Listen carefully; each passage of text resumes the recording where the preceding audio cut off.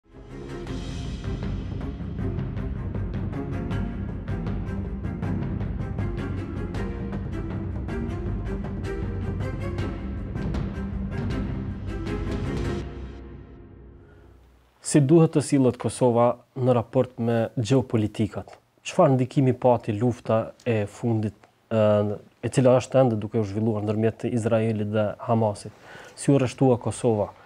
A kishte mundësi, si të thuash, qeveria e Kosovës dhe institucionet relevante që të reflektonin më drejt dhe më hapur në raport me këtë konflikt? Për të gjitha këto tema do të provojmë t'i shtrojmë me të ftuarin tonë, zotin Gura Kuqkuqi. Mirë se erdhe në kuadër. Është hera e tretë me sa di unë që je pjesë e kuadrit. Mirë se ju gjeta, është gjithmonë kënaqësi të jem në emisionin e tuaj. Ë iu referuam luftës Izrael Hamas, e cila këto ditë ka zgjuar debat edhe në mediat tona. Ë kam përshtypjen ndonjëherë që këto tema na u kanë imponu, sikur me qëllim për ta matur opinionin edhe qëndrimin e e shoqërisë. Mirëpo kjo i detyroi edhe emision edhe institucionet tona që të ë marrin qëndrim në raport me konfliktin. Si e përjetove, si ke përjetuar ti si qytetar i Kosovës një luftë të tillë? Viti 2023, por edhe viti i kaluar, jemi duke u ballafaquar me një numër vatrave krize, lufta që po ndodhin vazhdimisht. Kemi luftën në Ukrainë, pastaj ka pasur ballafaqime në Sudan, vendet e tjera, po ashtu e kemi edhe ngjarjen në Azerbajxhan me Nagorno-Karabahun, Përveç Izraelit e patëm para rastit të Izraelit me Hamasin në Kosovë, ku ishte tendenca për luftë, dhe të gjitha këto në, në perceptimin qytetar e kanë jep ndjenjën sikur jemi para një lufte të madhe. Sepse vatrat e krizës çdo herë po bëhen më të nxehta, përplasjet mes shteteve po bëhen më të ashpra, dhe po krijohen grupacione dhe grupacione të ndryshme, të cilat sikur po përgatiten për një ballafaqim të ashpër. Andaj edhe po flas së pari si qytetar, menjëherë më jepet ndjenja sikur edhe unë duhet të përgatitem diçka, për diçka, sepse diçka po vjen që mund të më prek mua, fëmijët e mi, familjen time, rrethin tim, por edhe pasurinë time.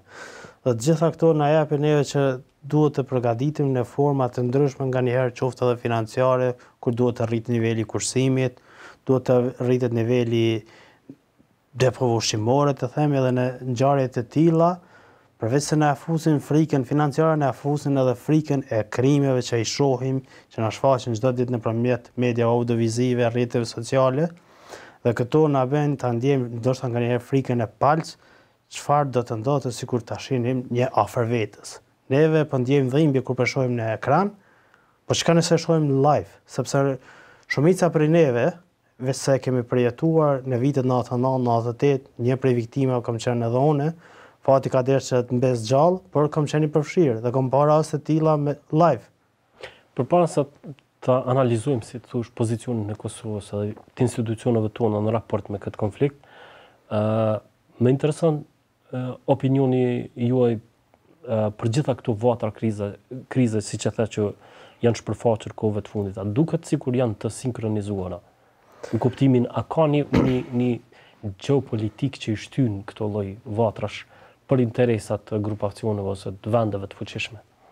Plot luftra fillojnë me qëllimin dy ditor, tre ditor, një mujor, kështu kanë fillu edhe luftrat e parë botërore, e dytë botërore dhe shumë luftra, por pastaj fillojnë të dalin gradualisht nga duart e udhëheqësve të luftës e njerëzve të cilët i organizojnë, marrin pjesë, sepse luftrat janë një biznes shumë fitimprurës. Ngjashëm është sikur pandemitë që janë shumë fitimprurëse për MCN-ët, kompanitë multinacionale botërore, edhe luftrat janë në format e tilla, organizohen shumë industri të armatimit, po ashtu edhe shumë grupe shkencore për zbulimin e armëve të caktuara, pastaj edhe për ndërtimin e rrugëve të reja për bartjen edhe kësi forma krijohet një kapital i ri i njerëzve të ri të vjetër mund të themi lirisht po që e riorganizojnë veten me para dhe këto vatra të krizës atëherë kur një grup shpërthen Plot vendet, nëpër plot vendet e botës ka pakënaqësi etnike të caktuara, popuj të okupum dhe ata e shohin mundësinë që edhe vetë ta bëjnë një trazirë dhe të fillojnë të fitojnë drejtat e tyre.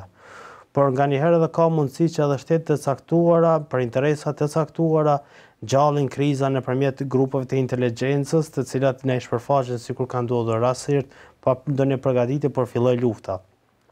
Për shembull tek lufta që po ndodh në Palestinë, tek gjenocidi, mund të themi me përmasë gjenocidale që po shkon atje, mund të themi që ka qenë ndoshta dhe një luftë e manipulume, sepse e, nuk ka gjasa që grupi Hamas të fillojë një invazion të tillë, të që ta themi në thonjëza, pa njohuri të caktuara, por Ka edhe punime shkencore, njohuri që shumë luftra do thotë janë sinkronizuar, janë koordinuar që të shpërthejnë për çështje të caktuara, pastaj që të zhvillohet një politikë e caktuar, një invazion i caktuar dhe në këtë mënyrë do thotë edhe këto vatrat e krizës fillojnë të dalin. Për shembull, nëse kthehemi edhe te rasti i Nagorno-Karabahut, ë sa arritëm deri tek një deklaratë ku Udhëheqësi i Armenisë tha që ne jemi për paqe me Azerbejxhanin dhe jemi do ta njohim si territor të Azerbejxhanit Nagorno-Karabahin me kushtin që të lehet një korridori i Lashinit aty për dalje, atëherë menjëherë doli bllokada e Lashinit që e bllokon vetë Azerbejxhani si dhe u gjetën arsye që të bëhet një invazion total mbi Nagorno-Karabahin me tendenca edhe invazion të Armenisë. Menjëherë u gjetën edhe arsye për ne ndodhi rasti që ishte shumë i afrët këtu në Kosovë një çështje e cila u mboll, mund të themi edhe nga vetë ndërkombëtarët me deklaratët e tyre për 6-7 muaj, sepse ata vazhdimisht deklaronin që në veri mund të shpërthejë lufta. Ata ndoshta sigurisht kanë pasë informacione të inteligjencës të caktuar, ne mund të flasim nga jashtë. Por e mbollën ndjenjen e frikës, ndjenjen e luftës dhe i përgaditën Edhe vetë grupet kriminale, terroriste që të që të angazhohen për një akt terrorist i cili ndodhi në në Banjskë atje ku munduan madje nëpërmjet kishës jo vetëm një luftë etnike, por ta bëjnë ndoshta edhe një sulm fetar, sulm etnik dhe sulm me përmasa që nganjëherë edhe na befason vetë Serbia si i ka manipuluar. Ëm, si do duket pozicioni i Kosovës në raport me luftën? Fatkeqësia është Kosova nuk ka pas një strategji të marrëdhënieve ndërkombëtare asnjëherë. Ne jemi e renditur me Perëndimin. Është krejt në rregull. Sot në marrëdhëniet ndërkombëtare shumica e shteteve renditen. Sidomos pas rënies së bashkimit, po mendoj bashkimit sovjetik, komunizmit dhe këto, edhe grupet e painkuadruarve janë inkuadruar dikun.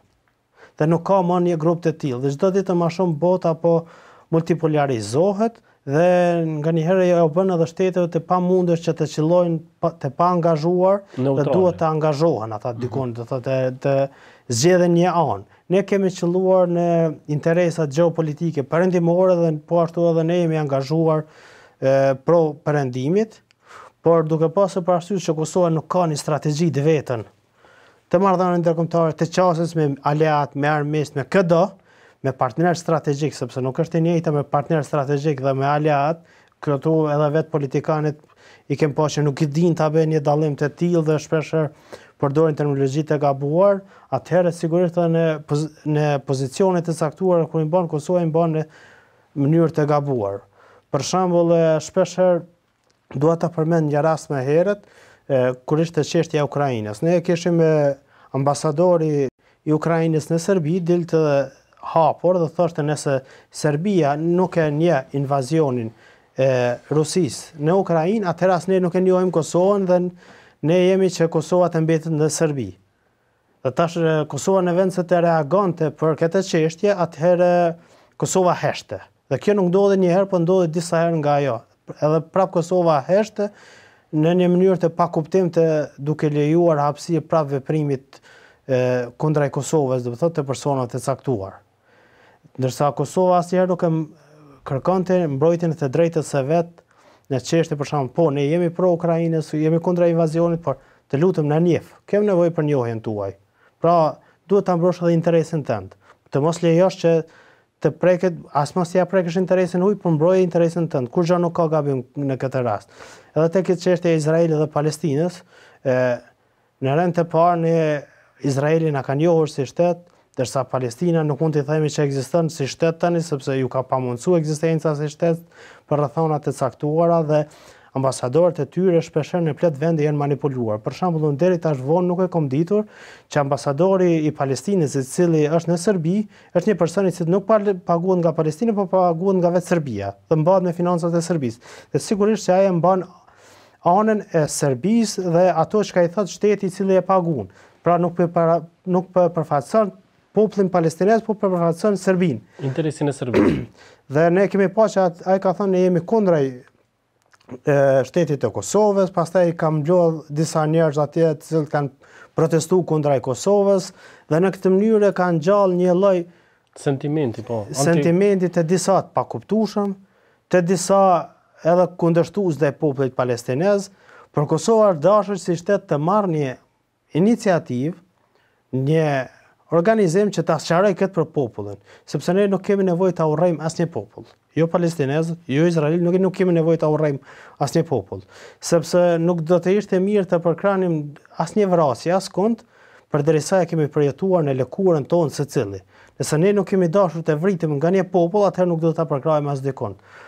Edhe deklarata Kosovës, ndoshta iu ka kërkuar nga ndërkombëtarët që ta bëjë një deklaratë qeveria e tanishme që ta përkrahë Izraelin, por megjithatë konsideroj që është bërë me hapa shumë të shpejtë dhe shumë të ngutshëm kur e kemi në konsideratë fuqinë tonë. Kosova nuk është një shtet i cili mund ta fillojë ta ndalojë, ta përkrahë, të mos e përkrahë luftën e ndërmjet izraelitëve dhe palestinezëve.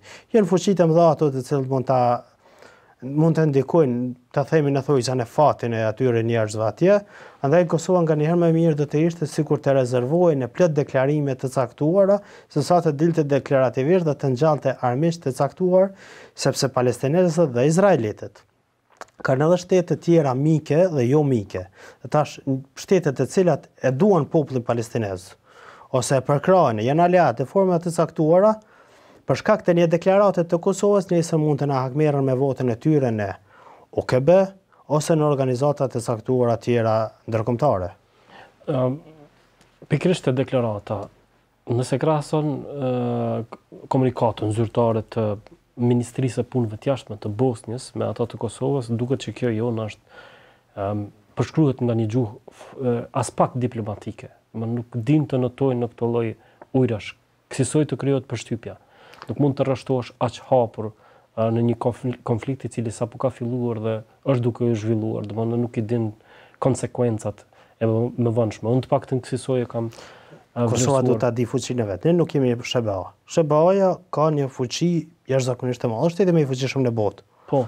Dhe ata edhe po nuk e përdorin diplomacinë, prapë betin shteti i fuqishëm, më i fuqishëm në botë. Ata nuk janë absorbus i diplomacisë, po janë krijus i diplomacisë. Ne jemi absorbus i diplomacisë. Dhe duke qenë absorbus i diplomacisë, ne duhet ta absorbojmë në inter... karshi interesave tona, të renditemi karshi interesave tona, të mos përplasemi kryesisht me ujëra ndërkombëtare, por shteteve të vogla Ju bie barra më e madhe e kuptimit të diplomacisë. Pse e them këtë? Sepse shtetet e fuqishme, shtetet më pak të fuqishme janë krijues, janë aleatë strategjik, pastaj janë partnerë dhe mund të koordinohen. Shtetet e vogla, duke mos pasur një fuqi ndikimi në këto politika, atëherë duhet të bëhen aq të mençura, saqë të renditen në atë formë që as nuk përplasen, por as nuk fundosen nga ujërat e, e fuqive të mëdha. Dhe Kosova shpeshherë jo vetëm që po përplaset, jo vetëm që po e përplas veten, pa e përplas askush, por edhe po në momente të caktuara po e fundos veten. Për shembull, ne kemi ditur ta përplasim veten me Shtetet e Bashkuara të Amerikës, me Bashkimin Evropian, me plot vende të tjera të cilët nuk na kanë njohur dhe na kanë njohur. Nuk duhet të harrojmë që një ditë për antarësim në OKB duhet ta marrim të paktën një votë abstenim të Rusisë dhe të Kinës. Deklaratat tona mund të përdoren nga ato shtete. Si analist, unë mund të them çkado. Nuk është ndonjë problem i madh. Por si politikan, dikush që e përfaqëson Ministrinë e Punëve të Jashtme, duhet të jetë shumë i kujdesshëm në gjuhën që e përdor. A është dashur në këtë lloj konteksti të merret parasysh edhe sentimenti i shumicës së qytetarëve, të cilët janë pro Palestinës? Qeveria, institucionet e përfaqësojnë popullin. Dhe sigurisht që duhet të merret ajo se çfarë dëshiron populli.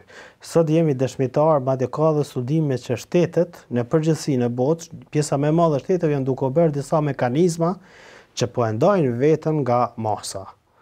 Pra tani shteti nuk merr sentimentin e mos por mos themi sentimentet e veta se shteti nuk ka ndjenja por po imponon qëllimet e veta për shembull të themi tek çështja e LGBTI-s imponohet nga shteti tek poshtë pastaj edhe nga çështje të caktuara për shembull sot më shumë folet për të drejtat e kafshëve se drejtat e njerëzve nuk ka kurrgjo të keqe me fol për drejtat e kafshëve absolut duhet të mbrohen patjetër sepse Nuk është rasti që i shohim duke u keqtrajtu, por ne po i shohim edhe duke u shkatrru edhe ma shumë njerëz, dhe tash nëse ne i lëmë që drejtat e njerëzve të shkatrrohen, që ata njerëz kanë me i shkel edhe drejtat e tjerëve.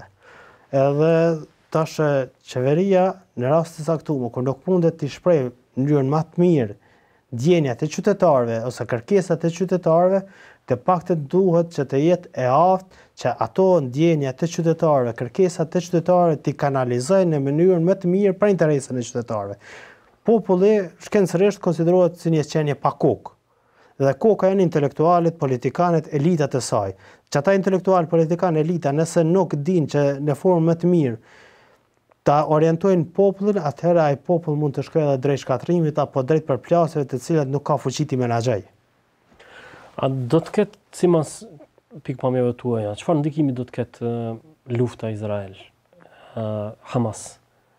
Thonë që fjala vjen edhe për luftën Ukrainë-Rusi ka ndryshu mjaft në kuptimin e gjeopolitikave, rreshtimin e shteteve, mandej ka ndikuar, ka prodhuar krize ekonomike, ka ndikuar në, në, në si me thanë, performancën e disa valutave në treg, e kështu me radhë, tregut të karburantit. Çfarë efektesh, çfarë pasojash, çfarë konsekuencash do të ketë lufta Izrael-Hamas? Konsekuenca e parë mund ta vrejmë që prej se ka filluar lufta Izrael kundrejt Hamasit, popullit palestinez, sido që ta definojmë, lufta në Ukrainë do të thotë më nuk është në top lajme. Kjo e vrejmë do të thotë që ka qenë ndoshta edhe interesi edhe i, i Rusisë që të shpërndajë kriza sa më shumë, sepse atëherë fillon të humb interesi për çështjen e Ukrainës dhe ka hapësirën e veprimit më lehtë për të realizuar interesa të caktuara sepse nuk mund të bën as Rusia, as Ukraina, as askush për shembull një luftë klasike siç është bërë në luftën e dytë botërore, në luftën e parë botërore ku është hadhur, hedhur gazrat e ndryshme helmuese, edhe armë të cilat janë të ndaluara me konventa ndërkombëtare, nuk mund të përdoren më aq lehtë. Jo që nuk përdoren, sepse për shembull në luftën në Kosovë janë përdorur. Janë përdorur për shembull lloje të armëve të plumbave dum dum, të cilët janë të ndaluara me konventa ndërkombëtare. Por pastaj konsekuenca e vrejmë çdo ditë, për shembull nafta na u ka shtrejtuar neve në Kosovë. E kemi vrejtë, do të thotë dy ditët e fundit është shtrejtuar për disa cent dhe kështu mund të vazhdojë ma tutje. Por çka mund të jetë edhe disa disa çështje të tjera që mund të jenë edhe shumë me interes për neve. Lufta ndërmjet Izraelit dhe Palestinës është luftë shumë me interes global sesa çështja e Kosovës me Serbinë. Prodhon më shumë interes për mediat, politikanët, studiuesit, shtete të caktuara sepse duhet ta kuptojmë që bota nuk sillet rreth neve. Dhe ka plot konflikte, shtete dhe gjëra më të rëndësishme në botë se ne. Tani Serbia mund ta shfrytëzojë mjaft mirë këtë katrahurë ndërkombëtare që po ndodh dhe tërheqjen e vëmendjes nga Lindja e Mesme, por ne i themi Lindja e Afërt, por Lindja e Mesme në kuptimin politik, dhe të shkaktojë prapë kriza të reja, destabiliteti në Kosovë dhe Ballkanin Perëndimor. Thuhet që tash është rreziku më i madh sesa Para disa muajsh? Po, gjasat janë shumë reale që rreziku është shumë më i madh, sepse ata akoma kanë elementet e tyre të aktivizuar në Kosovë, nëpërmjet mjeteve të caktuara, kanë agjentët e tyre të fshehur, kanë kisha të cilat Kosova nuk mund t'i kontrollojë absolutisht dhe ne nuk e dimë çfarë ka në to. Pastaj kanë fuqinë e inteligjencës, të korruptimit të njerëzve, futjes së armëve, rrugë të fshehta dhe plot zona akoma Kosova nuk i ka nën kontroll në mënyrë efektive, pastaj nëse Kosova nuk i ka nën kontroll në mënyrë efektive, sa i ka KFOR-i në mënyrë efektive.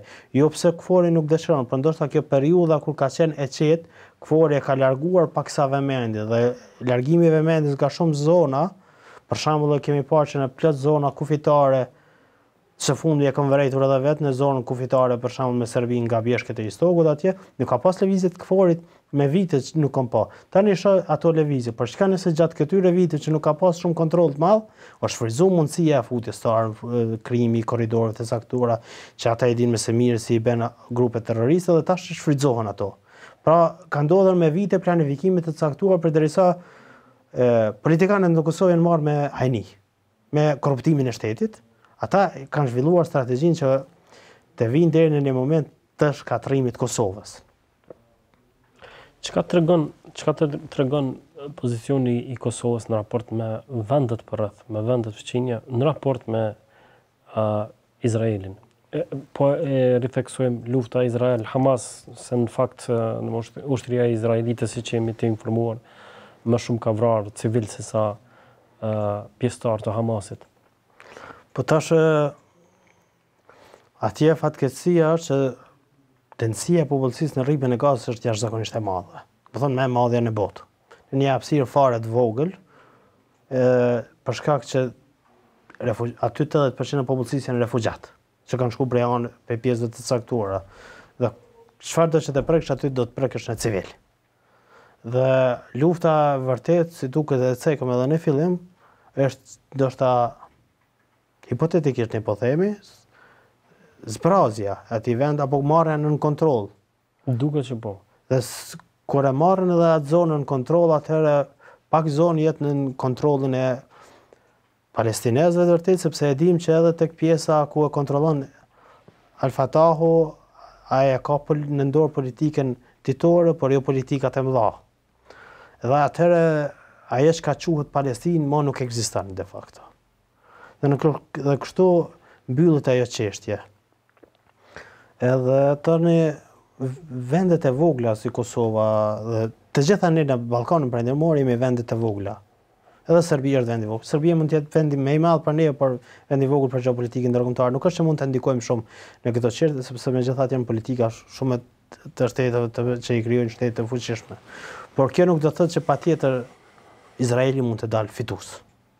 Sepse ne e dimë që civilizime shumë të fuqishme, e, në periudha të caktuara të historisë, e, kanë dështuar pa u mposhtur nga askush.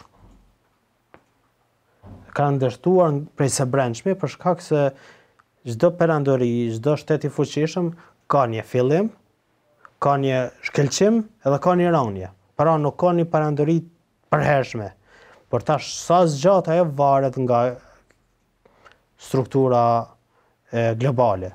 Dhe tani shohim që fillimi, shkëlqimi dhe rënia e fuqive, superfuqive, perandorive, shteteve, çkado qoftë, qofshin edhe organizata biznesore, është shumë më e shkurtë se sa për shembull kur ka ekzistuar perandoria romake, perandoria osmane, edhe perandori tjera. bizantine apo cilado qofshin ato. Pra, tash ne nuk mund të themi sigurt që shkëlqimi i Izraelit, siç është në këtë pikë, do të zgjasë edhe shumë. E, teoria e civilizimeve thotë që në brezin kufitar të një civilizimi i cili është në majën e tij, fillon dalja e një civilizimi tjetër. Dhe me fillimin e daljes të atij civilizimi tjetër, fillon rënia e këtij civilizimit aktual, i cili është në shkëlqimin e tij. Madje një hipotezë që e kam pas ngritur me shumë, i kam pas pyetur disa persona që merren me histori dhe nuk kam marrë asnjëherë përgjigje është që nëse ka ekzistuar civilizimi ilir, shkëlqimi i tij, a do të thotë që civilizimi helen në brezin kufitar të tij ka filluar kur ka filluar rënia e këtij, ka filluar shkëlqimi i tij. Pra, edhe në këtë rast historia vazhdimisht e shohim që në masa të konsiderueshme përsërit veten. E vërtetë. Po, uh, se jemi fare në fund në uh, të emisionit, uh, i përmendëm pak a shumë shkarazi, uh, viktimat që e përbëjnë më shumë fëmijë, gra, një numër tragjikisht shumë i madh, ë është akuzuar ë prej shumë vendeve, bile edhe në në në Kombet e Bashkuara se ka përdorur armë të ndaluara me Konventën e Gjenevës ë dhe po ashtu ka ushtruar represion paraprakisht e ka nxitur ë luftën e kështu me radhë. Duket sikur ë fillimisht e the si një plan i menduar e, me kujdes, neve na duket si si spektatorë të rastësishëm, mirëpo nëse analizon më tutje del sikur plan i menduar. Ë pyetja ime në këtë kontekst është a, a po tregon kjo një farë lloj zvetnimi të kësaj kushtimisht perandorie, siç e quajte në mënyrë simbolike, sepse edhe Dështimi i mjeteve mbrojtëse, i sistemeve mbrojtëse të Izraelit, u interpretua si një lloj befasie, sepse besohej se deri vonë ai sistem është i raketave, është shumë i sofistikuar. E, dua ta cek, hm, kur filloi dështimi i Lidhjes së Kombeve dhe nuk arriti t'ju përgjigjet luftrave në atë kohë Lidhja e Kombeve. Paraardhësja e Organizatës së Kombeve të Bashkuara, e, bota vetëm e gdhiu që është në luftën e dytë botërore. Edhe sot mund të themi që Organizata e Kombeve të Bashkuara në një farë forme ka vdekur. Sepse aty më asgjë nuk mund të merret në interes të botës, ndonjë vendim. Gjithmonë del një shtet i cili përdor veto për diçka. Për shembull, ka qenë një marrëveshje e fuqive të mëdha që pakoja e Ahtisaarit të është dashur të kalojë në OKB. Por nuk ka kaluar asnjëherë, sepse ka pasur veto në Këshillin e Sigurimit. Dhe pastaj është gjetur metoda që Kosova ta shpallë njëanshëm pavarësinë e saj, sepse megjithatë është deshur t'i gjindet, t'i gjendet një zgjidhje. Edhe tek rasti i krejt vatrave të krizës që po ndodhin nëpër botë, Nëse jo në fillim, OKB është dashur të merr masa menjëherë sipas kartës të Kombeve të Bashkuara të reagojë në Izrael, Palestinë, Azerbejxhan dhe çdo kund ku ndodhen vatrat e krizës, sepse është përgjegjësi në kartën e Kombeve të Bashkuara. Janë edhe disa që s'kanë marrë vëmendje sa ka marrë rasti, për shembull rasti i Jemenit. Po ka ka mjaft luftra që nganjëherë e kemi vështirë edhe t'i marrim nëpërmjet mjeteve të informacionit. Sepse sot mjetet e informacionit të gjitha janë të orientuara në disa vija të caktuara gjeopolitike, në interesa të caktuara aty ku qëndrojnë. qofshin ato arabe, qofshin ruse, kineze, perëndimore, pa marrë parasysh çfarë janë, secila pra duhet ndoshta nganjëherë për ta ditur se çfarë po ndodh në Arabi, Kinë apo dikund, të marrësh ato media atje sepse mund të mos e marrësh informacionin e duhur nga mediat në anën tonë. Dhe pastaj edhe ata të cilët punojnë nëpër media, ndoshta nuk u tërheq vëmendjen e duhur që ta transmitojnë një lajm të caktuar, dhe në këtë mënyrë ne nuk e dimë se çfarë po ndodh. OKB-ja ka pasur kërkesa të vazhdueshme që duhet të riformatizohet, do thotë duhet të ndryshohet çështja e vetos, duhet të integrohen anëtarë të rinj me veto Për shembull Afrika nuk është e përfaqësuar hiç më në atë zonë nuk ka veto aty, kanë vetëm zonat e tjera, Perëndimi ka më shumë vota aty, por megjithatë edhe tek çështja e vetos është diskutuar që duhet të ndryshohet se si dhe kur mund të përdoret vetoja. dhe mosfunksionimi i kësaj po na tregon që Ka nevojë për një sistem të ri global ndoshta. Por ky sistem global i ri nga kush do të krijohet? Nga anarkia apo nga fuqi të caktuara? Beson që këto institucione s'kanë madje as ndoshta edhe kredibilitet për të ndërmarrë diçka në lidhje me parandalimin e gjakderdhjes atje? Nuk kanë as fuqi, lëre më kredibilitet. Ta përmend vetëm rastin e Kosovës. Akti terrorist që ndodhi në Banja, Banjskë ndryshe, është e ndaluar me plot konventa ndërkombëtare. Asnjë nuk u përmend as Këshilli i Evropës, as nga Parlamenti Evropian, as nga Bashkimi Evropian, as nga askush tjetër, nuk u përmend asnjë prej tyre. A është dashur edhe Po, po, është dashur të citohet edhe nga rezoluta e Parlamentit të Kosovës. Asnjë nuk është cituar prej tyre. Kemi bërë gabim dhe ne që s'e kemi... Si po, është dashtë të citohen se jemi pjesë e sistemit global, ekzistojmë edhe ne. Ne i kemi pranuar ato, madje kanë përparësi para sistemit vendor ligjet ndërkombëtare. Po tamam i bie që janë krejt formale, bashkë me institucionet... Po nëse askush nuk respekton, i bie që janë formale. Po. Edhe përmend edhe tek rasti i luftës në Izrael dhe Palestinë. Hamasi nëse e ka marrë veprim, domethënë që e ka marrë veprimin e sulmit ndaj Izraelit dhe për dy ditë mund të themi që dështoi u duk sikur dështoi gjithçka nga mbrojtja e Izraelit. Atëherë Izraeli sigurisht çdo njeri duhet ta mbrojë veten, sepse është e drejta e secilit kur të më sulmoni ju mua ose unë juve duhet të mbrohemi. Por e, është dashur të reagohet, sipas kartës së OKB-së, duhet të reagohet pastaj e shtetet tjera, Këshilli i Sigurimit, të reagojë me strukturën e vet dhe të organizojë një forcë e cila po. ndërhyn dhe e rikthen paqen. Por mm. nuk reagojnë, nuk po reagon askund, as në Ukrainë. Megjithëse nuk po duket sikur po e mbron veten më shumë, por po i sulmon civilët. Po sigurisht sepse pastaj kthehet në përdorim për interesa të caktuara. Gjendet një model, plot luftra ia kanë gjetur shkakun. Ia kanë gjetur një shkak për fillimin e luftës. Për shembull, sikur Sllobodan Millosheviçi që ka gjetë shkaqe vazhdimisht për të sulmuar shqiptarët. E qartë. ka po. krijuar, domethënë, është instrument për të justifikuar mandej invazionin. Edhe në këtë mënyrë tash atje çfarë ajo po ndodh, po sulmi në kisha, xhamia, spitale, nuk mund të arsyetohen absolutisht, si vetëmbrojtje. Nëse vërtet do të dëshironte, të luftonte Hamasin, atëherë po besoj që një shtet me një teknologji shumë të sofistikuar, me ushtarë, me grupe të inteligjencës shumë të sofistikuar, është në gjendje që të gjejë edhe mjete të sofistikuar për të luftuar grupet e Hamasit. Unë asnjëherë nuk jam kon pro Hamasit sepse ai nuk unë e konsideroj që nuk e përfaqëson popullin palestinez. Madje madje ka teori që grupi i Hamas është i kriju nga vetë izraelitët. Nuk e dimë se janë saktë ato teori sepse ne nuk jemi pjesë e grupit të inteligjencës. për të mund t'i verifikuar. Por i, ai themeluesi i tyre më së pari ka marrë ndihma, ka qenë një humanist i cili ka marrë ndihma për të ndihmuar popullin palestinez, më vonë e ka krijuar partinë e Hamasit dhe në këtë mënyrë ngriten këto teori që vërtet kujt i shërben Hamasi. Sikur që janë ngritur teoritë e caktuara kujt i shërbejnë grupe të caktuara terroriste.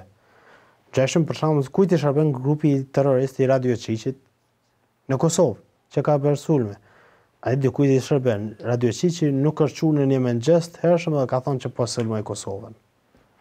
E vërtetë, ë, ka shumë çështje enigmatike që do të mund t'i shtronim ende, mirëpo unë të falenderoj për krejt këtë kohë që e ndave me neve.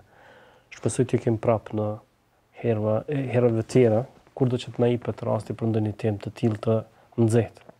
Ishte nder dhe kënaqësi të jem pjesë e emisionit tuaj. Faleminderit shumë. Miq të nderuar, kaq kishim për këtë emision. Mos harroni të na ndiqni çdo të martë në Radio Televizionin Iliria si dhe në kanalet tona zyrtare në të Fol Drejtit. Faleminderit për vëmendjen.